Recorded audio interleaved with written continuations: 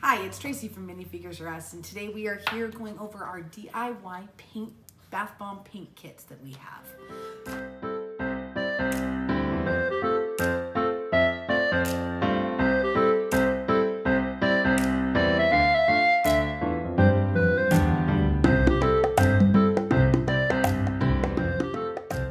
So here we are with our cultural day activities for Lacombe Tourism. We have our bath bombs. We give you the micas needed to paint. We give you the rubbing alcohol and the polysorbate. The polysorbate's put in so that way these colors don't leave your tub colored or you, which is the best part of our bath bombs. Um, instructions are here. Okay, let's get started. So the first thing we do when I'm painting a bath bomb, is I'm holding it here, is I take and I brush off really lightly any of the excess. Just helps with allowing um, the paint to adhere and not run. I call it paint, it's not really paint. So the first thing I do is I just add a little bit of the your 99% alcohol into the base. And I take my brush, any brush you want, and just mix it up. You'll see that that's a really runny consistency for me. It's almost too runny, okay? But I'm just gonna mix up what's already on the bottom. You would be pulling out of your little tub of colors. Ours are already kind of pre-made. So as we're just mixing up, making sure everything is well saturated into the rubbing alcohol, you'll make a mess. I do all the time. You're just gonna take your polysorbate and you're just gonna put in two drops. Now you guys don't have to worry about any of that. We've pre-mixed it all for you. We provided you with a paintbrush and everything to be able to get things done. The first thing I'm starting with is just gonna be a basic color of kind of a light red. And as you can see, I'm still not happy with the consistency. So all you're gonna do is just grab this. You do have a pet bath in there. It is for adding your alcohol and stuff. You're gonna see me be a little bit more creative today with it. Because really we just use what's on hand. Oh, so much better. A little goes a long ways, guys. Now I'm gonna brush, I'm gonna use my smaller edge brush just so I can get in there with the fine tips. So I'm gonna try to paint these so that you guys can see them because normally I work on face down situation. I'm just gonna do, in this case, I'm gonna do her belt. So as you can see, it's just light, quick strokes. No need to push down. If you push down, well, sometimes you'll crumble your bath bomb. Please don't use water or anything besides what we're giving you in the kits because water will activate the bath bomb. So now I don't know what color you guys want to do a witch's hat. I prefer to do a witch's hat black. And again, keep excess brushes around or whichever you want to keep. Um, for you guys, you guys have the one brush, so I would just go ahead and use water to wash your brush off. Just make sure it's dry, guys. Okay, so this time I did the right procedure and I didn't add too much of the alcohol. Again, drop a polysorbate. Just gonna use this brush right now. You can go into your black hat.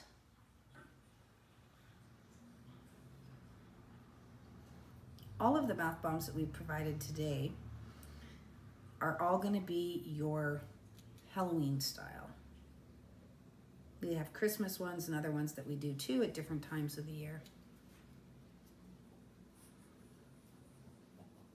But as you can see, it's really simple, but the best thing about it is it's so simple that any of us can do it and the kids love it. So as you can see, here we are painting our own bath bombs here at home. I'm a little sometimes picky on how things look. So Wendy, what color do you think we should do the dress? Gold? Gold. Okay.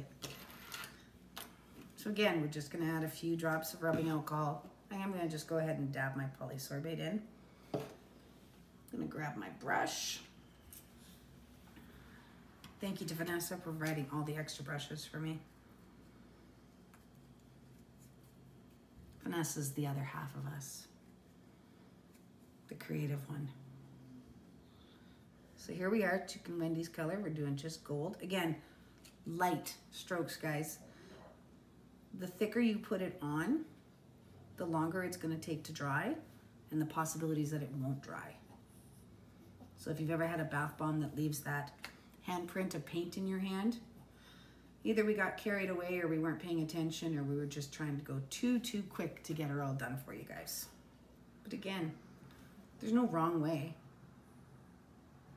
You can do it as light as you want, as dark as you want. The goal with all of this is to have fun.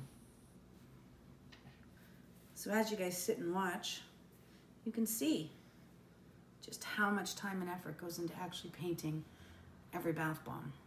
So now we've got the black, we've got the red. I am gonna go back in here and do the little red on the hat. Again, your choice to what color you guys wanna do it. It's the best thing about painting. It's whoever your idea is creative. So this time I'm gonna go in, and once again, I'm just gonna go over this. It's all good, guys. We're all good. We're gonna go in with, and show you exactly. So you see this bottle, you see I have two. These are combined together for you. You don't have to worry about combining. We're gonna go ahead and put in a couple drops. If you wanna be an expert, that's the way we do it at home. it's the best part about this stuff, guys. I'm gonna tell you straight off, cleaners just wipe it right off, even if it's on white, this or that. We found a really good little cleaner that you can get real cheap. If you uh, ask Lacombe Tourism and Wendy, you'll find out what kind I can tell her. So now I've decided that she's gonna be brown hair because, you know, brown hair rocks. Don't mind the silver sparkles, they'll be taken care of soon. And I'm just going in. And as you can see, if you guys have done any painting techniques, you can, uh, uh, something called dry brushing. It's where you actually take most of the paint off your brush and you just go over the grooves. So that way it's just picking up on the edges as you can see. So that way we're getting that look. Again, nothing here has to be perfect. It's just a matter of making it look pretty and fun. So now we're gonna take, sorry, do the broomstick, because you know, most broomsticks are brown, I think. I don't know, guess we'll find out Halloween night. Look at that. Ooh, she's looking good, guys. She's looking good. I see places I've missed, but you know what? I can't just be perfect today. But I do go in and touch up when I'm done all the spaces that I feel like I have missed. Now, one thing you'll find that when you've mixed your your stuff, it dries after a time. That's just because the rubbing alcohol and stuff evaporates. It's not done. You don't need much more color. You just need to add a couple more drops of the rubbing alcohol and everything is re right back up to where it was. See? Doesn't take much. Little goes long, long ways. But see, my hat wasn't perfect, so I need to go fix it. Oh yeah, yeah, yeah, yeah. So now we're gonna go ahead and let's just switch it up completely and let's go with something bright. So we're gonna go back and we're just gonna start adding a little bit of the green mica into the container. Again, you guys have your colors. It's not hard to get more. Don't use regular paints, please. So as you can see, guys, I've just accented with brighter colors. You can go ahead too, and we will. We'll paint this whole background, whatever color you want. You can leave it white, like she's flying through the moon, which is technically what the mold is. But I don't know about you, but I think it needs to be blue, maybe purple because I'm kind of a purple fan. So we'll paint that up purple because, well, that's the kind of person I am. If you guys notice, oh, I'm going to go in and do this green because, yeah, I can. Because there's no wrong answers here.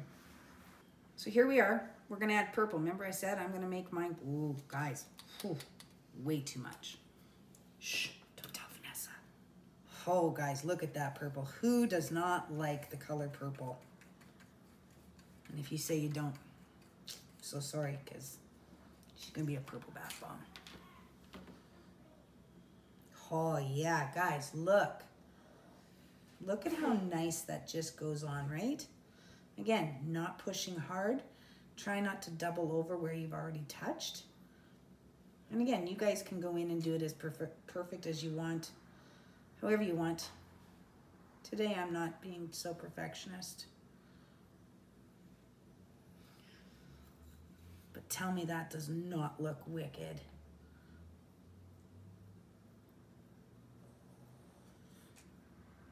Would love to see people who have painted theirs. Give them a post under the video after you guys have gotten your guys' kits. Just so we can see what everybody's come up with for their creativities. Nothing I like better than seeing the happiness come back. Oh yeah. Who doesn't like purple? Wendy like purple? Just think guys, you got at least an hour's worth of entertainment here for your kids. Or for us mums. And the best part is when we're done, we get to go have a hot bath and enjoy our work. Oh, these are amazing gift ideas. Like, I mean, these are something that people like to buy for their stockings and things like that. Um, underneath the tree, they're a great birthday gift. They're a great birthday party. So instead of a favors that the kids don't necessarily keep, you guys could take these and just keep them as the gift for the party. So with these kits, we do have them. If you weren't able to get one from the Lacombe Tourism, we do have them and they are $10 a kit. Um, but again, super easy. You can also choose what mold you want or what kind you want, whether it be the season or birthday or things like that. We have tons of different molds that you could choose from. Well, guys, the only color I didn't do today was skin tone, and it's because I honestly just forgot. There's touch-up work that I would do before selling something like this. But in the whole, this is the way we would go about painting our amazing little bath bombs. Again, thank you to Lacombe Tourism and the Culture Days for having us on.